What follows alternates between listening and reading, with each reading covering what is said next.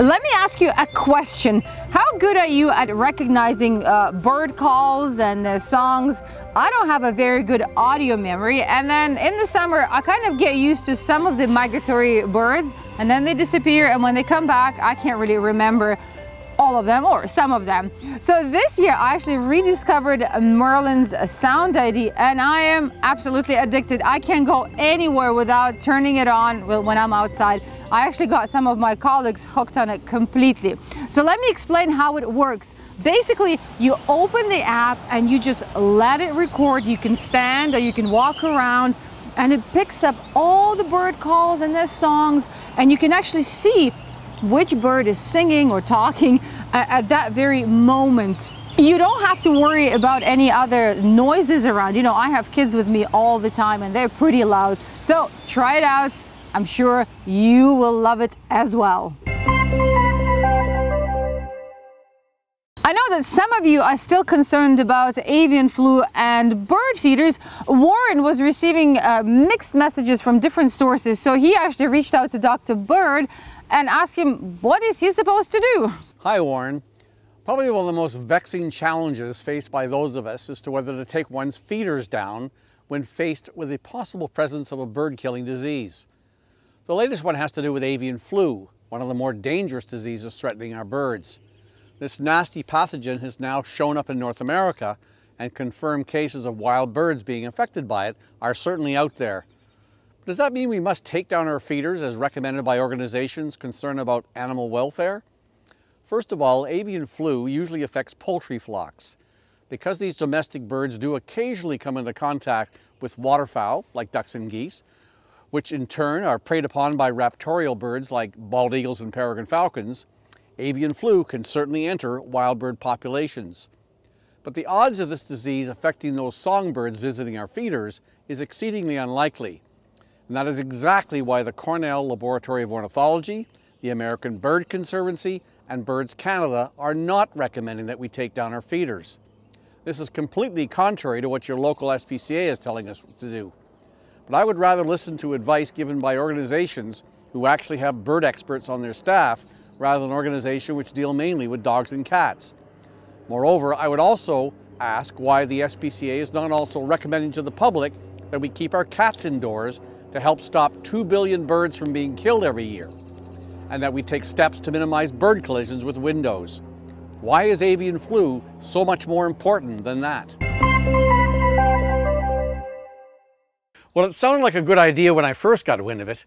I'm referring to the recent viral news item describing a commercial company's efforts to train birds to pick up cigarette butts off the streets of Swedish cities. The company, called Corvid Cleaning, is hoping to train highly intelligent hooded crows through, the use of a machine that deposits a food reward, such as peanuts, for every cigarette butt dropped in.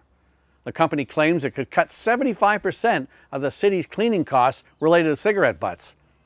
According to the founder of the project, Christian Gunther Hansen, the birds are doing it of their own volition. The streets get cleaned up, the birds get rewards, and so what's the harm? Plenty, say two ornithologists from the US and Australia respectively. They feel strongly that the training may change the crow's wild behaviors. In other words, the time spent doing such unnatural jobs for humans will detract and take away time from socializing, foraging, and even vigilance behavior, all to the detriment of the birds.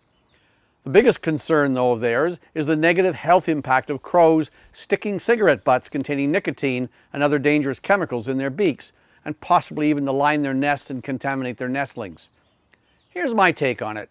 I seriously doubt that the crows will ingest enough nicotine by carrying butts in their beaks. And the idea is that they get a reward by depositing them in a machine, not to swallow them. Moreover, if the crows are getting peanuts as a reward, that constitutes a fairly healthy dietary item for a bird. As for impinging on the bird's time to engage in other natural behaviors, I would say that finding food is a prime concern for any city crow, and I sincerely doubt that the behavior will override the strong hormonal drive to undergo reproduction, for instance. But I can think of another way of solving this issue.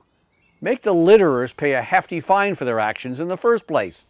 I guarantee the problem will disappear sooner or later, especially if the media reports the fines to the general public. Just look at Singapore as an example. That environment is fairly free of litter, especially chewing gum, and they don't use local crows to pick it up. You wouldn't believe what happened to me the other day. I was driving to Paul's farm, you know, the inventor of our squirrel buster bird feeders, and right in his driveway there was a family of killdeer. Did they know that this week's bird alphabet is K for killdeer? So these birds are considered shorebirds, but I've seen them more often far away from shores. Paul lives on the farm and he has a small pond, but we've actually had killdeer in our backyard, briefly though. Uh, killdeer love uh, wetlands, uh, golf courses and all sorts of pastures, and our property borders a patch of wetland. Killdeer have also been called noisy or chattering plovers and listen to this they are so noisy but they're very tolerant of humans I was standing just a few meters away from them and filming them and that's one of the reasons why their population is still doing quite all right. Killdeer can be spotted throughout most of the USA all year round and then some of them move to northern states and Canada for their breeding season. As you can see at the beginning of June here in Quebec they already have two chicks. This particular pair might have another brood, but it's not guaranteed at our latitude. In southern areas, they can have up to three broods and they can nest all the way to November. They build their nests on the ground and four eggs are normally laid. I only saw two chicks, so I hope nothing bad happened to the other two eggs. Unlike songbirds, killdeer do not feed their young, but rather bring them to the food source. The chicks stick around until they learn to fly around 20 to 31 days old. As I was filming those killdeer, I witnessed two of the tactics they use to keep predators away from their nest or their chicks. So the first one was false brooding. They basically drop themselves to the ground pretending to be sitting on a nest and the other one was injury feigning display because as you know predators go for an easier prey. So I watched both parents for quite some time and I couldn't tell them apart. That's because killdeer, the two sexes look identical. But I find that of all the plovers, killdeer are the easiest plovers to identify because of the three rings that they have on their head and their neck. And finally, their diets. It's invertebrates and crustaceans.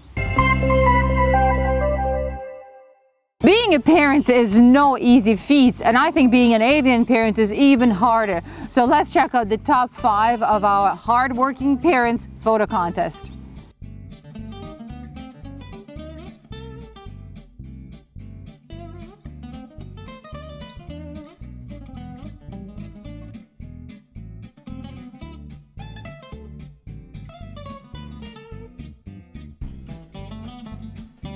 Here's the third place, the second place, and the grand prize winner. Congratulations, everybody. July is Reflections. All right, everyone, time to say goodbye. I hope you will go out and use Merlin's Sound ID. I honestly never thought I would spot a Tennessee and a Nashville warbler in our neighborhood. Goodbye, everyone.